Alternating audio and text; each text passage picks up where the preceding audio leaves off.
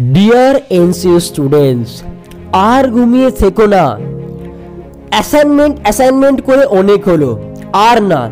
এবার পড়াশোনা শুরু করার টাইম এসে গেছে। কারণ অ্যাসাইনমেন্ট দেরি করে পাবলিশ করলেও এক্সাম কিন্তু দেরিতে হবে না। সময় মতোই হবে। So wake up man and let's get started এই মুহূর্তে বিবেকানন্দের একটা কথা মনে পড়ছে।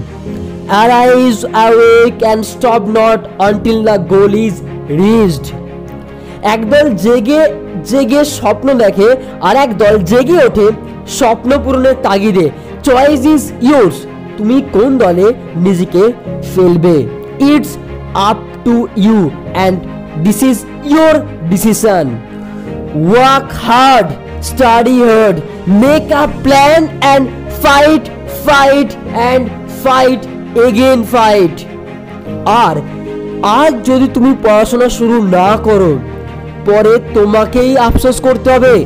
আর আমি অলওয়েজ মনে করি, এমন কোনো কাজ করো না যাতে তোমাকে পরে গিয়ে আফসোস করতে হয়। নিজেকে কখনো এক্সকিউজ দিও না। এক্সকিউজ মানে জানো তো?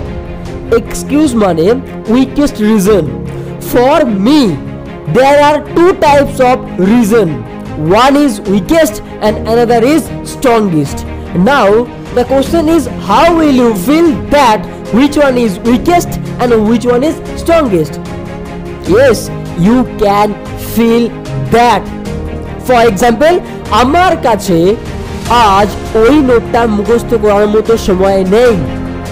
কিন্তু ভেতর থেকে তুমিও জানো you have enough time to complete that note but you still don't and that is call weakest reason তুমি পড়াশোনা করবে না, নিজেকে এক্সকিউজ দেবে it's up to you but সবশেষে আমি তোমাকে এটাই বলব big dream dream big work hard be original thank you